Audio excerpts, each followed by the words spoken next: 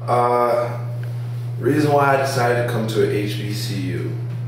Well, one, because the ratio to teacher to student is real good. So like I'll be able to interact with my teacher and she'll know me. He or she would know me by a first name basis.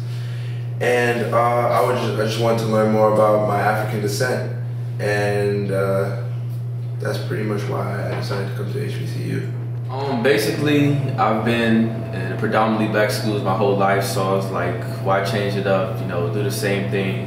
Um, I like I like uh, going to predominantly black schools. I mean, same people who I've been around my whole life. You know, and I like that. You know, there's black people who are trying to achieve something, uh, get an education, and that's just a lot of positive energy. So that's basically the reason I chose HBCU. A lot of my teachers, they went to HBCUs. They loved the experience they came back uh, to the classes and they told us about it.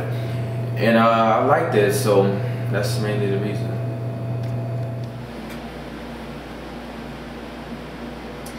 I decided to come to an HBCU because my entire family graduated from HBCUs. And I think it's important that we support our black colleges and that's it.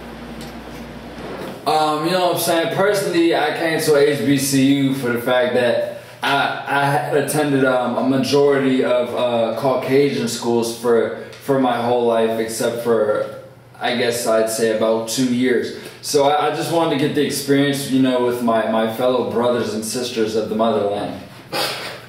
Uh, the reason why I wanted to go to HBCU was um, I'm from Jersey. I went to a very diverse high school with a lot of white people, a lot of Asian people. And I really didn't get to interact with a lot of black people that actually had substance. So coming to HBCU with, you know, high quality, high standard black kids was something I always wanted to do.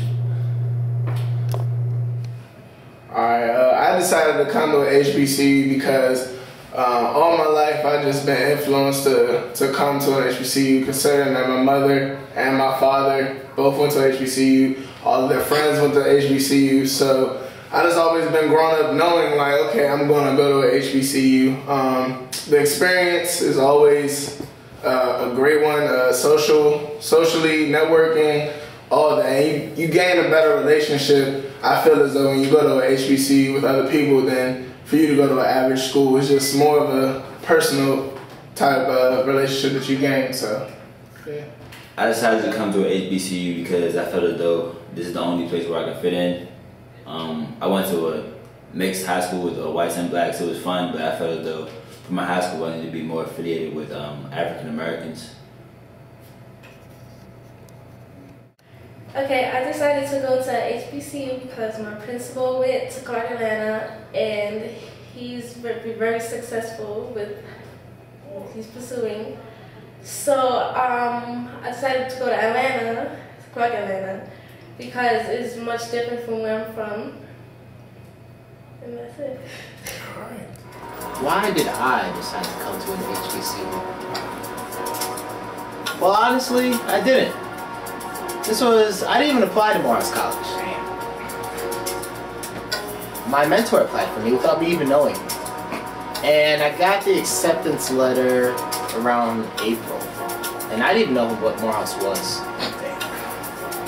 And I looked into it and I saw the history and it was different. It was the only HBCU that I was applied for since I didn't apply personally. And honestly, I only came here because I got a full scholarship.